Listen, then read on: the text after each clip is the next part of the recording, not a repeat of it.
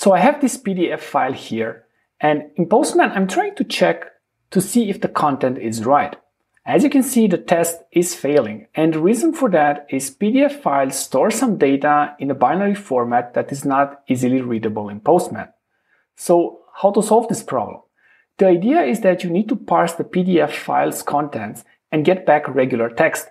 Unfortunately, no function in Postman does that. So if you can avoid doing this in Postman, it will save you a lot of effort. Hi there, this is Valentin and welcome to another Postman tutorial. I've worked on this problem together with a friend of mine.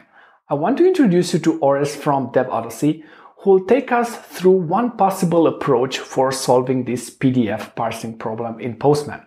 Orest will show you how to start a simple web application written in Node.js that will run in the background. We'll call this application over HTTP in Postman practically let this Node.js app do the PDF parsing for you. Please note that this is an advanced tutorial and requires you to have Node.js installed. Orest has really put a lot of effort into this and I would really, really appreciate if you could take a look at his YouTube channel. He has really some great Postman tutorials for you. Welcome back to Dev Odyssey, a developer's journey through IT, where I cover tutorials and reviews of IT tools and technologies. I'm your host, Orest, and today we're learning about PDF parsing in Postman. Before we begin, I'd love to give a quick shout out to Valentin Despa. Thank you so much for having me on your channel. I'm truly grateful for it, and it's exciting for me to deliver this video to your audience. Now, when making this video, I did run into a few snags with trying to get native PDF parsing to work within Node.js in Postman. You can't really import libraries well into Postman other than the ones that they provide, so I tried using the JavaScript eval function and even though that's dangerous, it also just didn't work for me and resolve those dependencies. So instead, I decided to use my own web service using Express.js and these same node modules for PDF parsing and use it as an endpoint for Postman to hit to send a PDF file and get the PDF back, in particular, the PDF text. Now, you could have done this with a third party library. However, with that, it comes at a cost of money and privacy. So in this case, with a web service that you own, you have more control over it, it's reduced costs, and more privacy, especially when using PDFs with sensitive information. Now, the three requests that I've made with this Express.js service are as follows. One is multi-part PDF parsing, two is base64 PDF parsing, and three is URL PDF parsing. Let's go ahead and dive right in. Now, before we begin in Postman, I thought it'd be really nice to show you this Express.js script that runs our web service to parse PDF text for us. So you can see in here, we do our imports of our modules, which are Express, Body Parser, PDF Parse, Crawler Request, and Multer. These can all be installed by using npm install and then the name of the module that I just mentioned. So first you'll need Node.js in order to do that. And then once you have it, you can install these modules. Then all we do in here is we do some setup for our services, including the body parse and the multer, which is multi-part. And then we have some endpoints. So the root endpoint returns hello PDF parsing. The PDF base 64 parse takes in a base 64 encoded PDF in the body, and then uses the PDF parser to return the PDF text in JSON. Same thing with multi-part parse, where it recognizes a multi-part form encoded request that comes in. It creates the buffer and then uses that PDF library again to send out and parse the text and then give it back to us in a JSON format.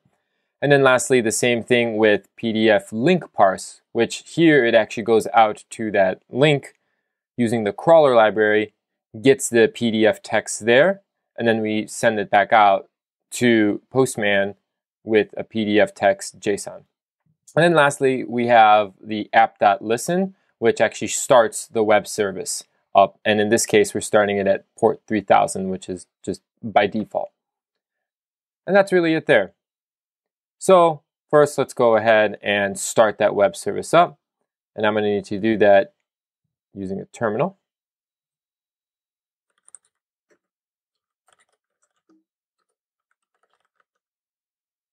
So once you do node test express.js, which is the name of my script, you'll see that it says example app listening on localhost 3000. So we're ready to go. Now let's look at our Postman collection within Postman. You can find the link to this collection in the description below, as well as the link to the Express.js script in a GitHub gist. So first, we're going to go over the multi-part parse PDF request. Here, the request is really easily set up. In this case, all we do is we have a body that is set to form data. We have a key named file, and then we have a value in here, which I just have hello world PDF. This endpoint only accepts one PDF file and no more than one. Then we have some tests in here. And in here, all we do is we parse the JSON response and pull out that PDF text attribute, we trim it, and then we expect it to include hello world in there. And that's it. And we trim it also to just remove white space or any um, characters such as new line characters. So let's go ahead and run this request. And as you can see, we get a response of hello world. And you see those new line characters I was talking about. Now in our test result, you'll see that it passes because it gets that value out. And then if you're curious, you can even look in here, and this is actually the response that it got. So this is the buffer that is output um, in the console that I actually set in the script to do that. Let's do a base64 encoded parse PDF. Here, the body is set very similarly, except I set a raw base64 encoded string, and with a JSON attribute of base64. And that's all there is to it there. In the test, it's identical. It's because it's the same PDF file. I just already base64 encoded it. We just make sure it has hello world, and that's how we validate. We're going to go ahead and do another run here. And as expected, we have PDF text hello world as it parsed it out. And you'll see that our test result that it passes because sure enough, it contains hello world as well. Now our last one is URL parse PDF. This one's only a little bit different. In the body, we have a JSON request body where we have a link to an actual file. So this is an HTTP link.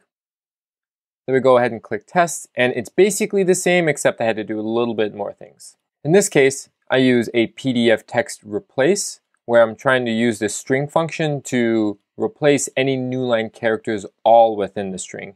And that's because we may find this new line character not in just the end or the beginning, but also in the middle. So this regex helps me do that replacing. And then I trim it as well for anything at the ends. And then we just do a pm expect again, our PDF text replace and trim to include the string, this is a PDF document. So once I click send, you'll see all these extra new line characters, and then you see the one in the middle. And then you can also see that in our test result, it passes. And that really covers it for this. It's very simple, uh, but it can be very powerful. You have so much that you can add onto it. So you can do not just text, but you could do images or anything you want to test within a PDF, such as locations of text or locations of images and much more. You can add that functionality to this Node.js script backend that allows you to do the testing within Postman.